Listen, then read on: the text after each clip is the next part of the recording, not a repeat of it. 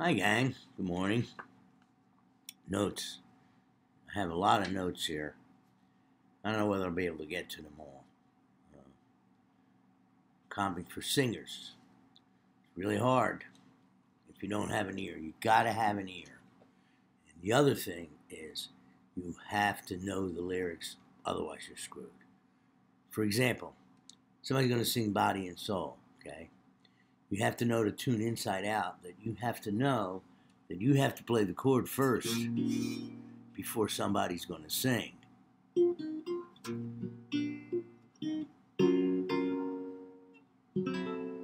you have to know, you have to listen, okay? I see books on comping and go,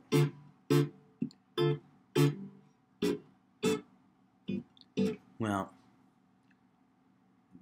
that there's more to it than that. You can't comp for a singer like that.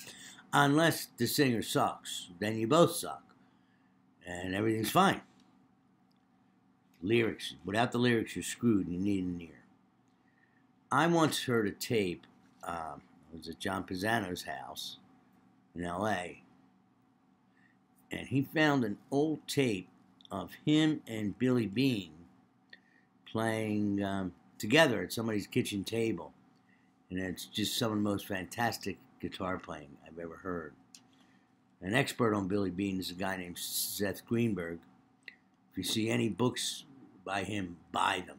They're excellent books. He's got some. He's got a book about Billy Bean. He has some another book about chords. I'm sure you can find them on the internet. I, I want to say SethGreenberg.com, but I don't think that's it. But Google him. Donna Lee Fingerings. Well, I have so many of them. But here's here's one. Try, try that again. Maybe it isn't one.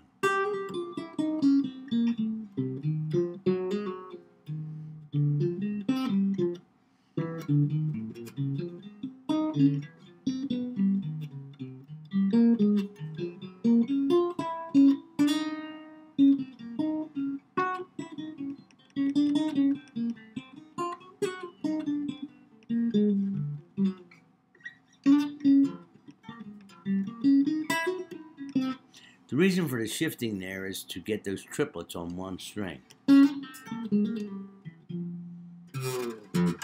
All right. Maybe I will get to all this, okay? Uh, what tunes do I dislike to play? Well, it's a hard question. I come one comes to mind because people were asking me about it is uh, Inner Urge. I just don't get the tune. I don't like to play that tune. But everything else is, you know, I, I don't mind playing a modal tune now and then. You know, like.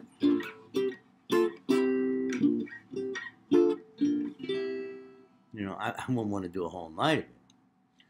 Hey, I'm making good. Uh, you ever see when you're driving on the road? And you say, boy, we're really lost, but we're making good time? Playing octave. Not sure I understood that. All right, well, I mean, look one and four on this set of strings. One and three.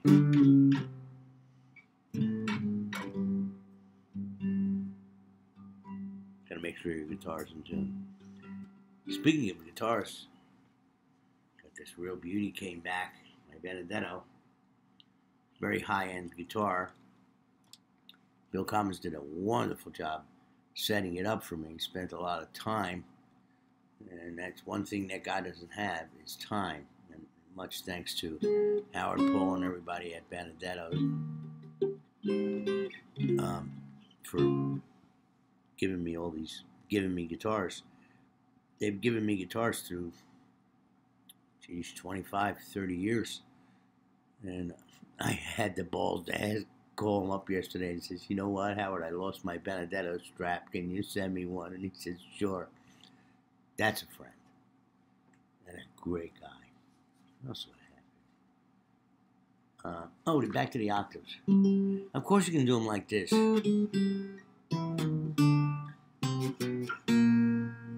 Although, I never saw Wes do it like that. I saw George Benson go like this, but he put a third in there. Okay, So you got B, G, and B. Is kind of kind of a cool cool sound. Stolen from George. Solely on I Got Rhythm, a primer. There isn't any primers for that. B flat, G7, C minor, F7. So many variations at this point. First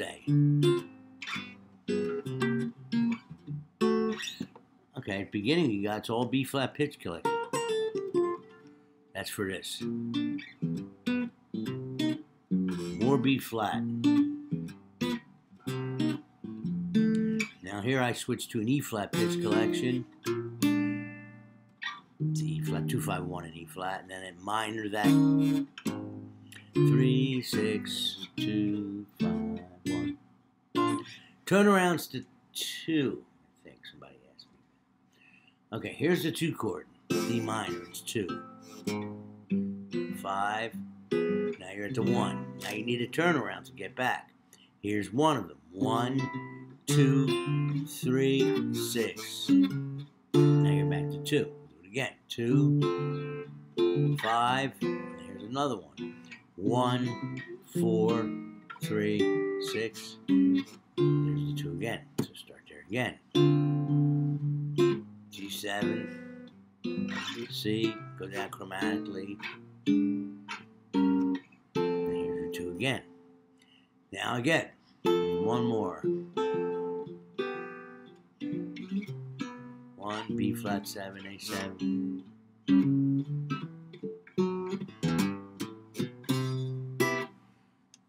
Okay, so uh, not so bad.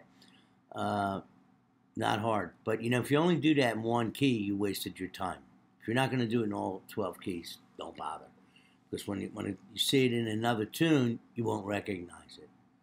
Okay, like I always say about doing something in 12 keys, you only got to do it one time. All right, I guess that does it. Keep these questions coming. I like this. Okay.